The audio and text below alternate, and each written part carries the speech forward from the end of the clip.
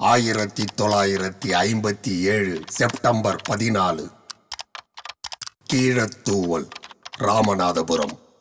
வரலாற்றின் கருப்பு பக்கம் நடந்தது என்ன?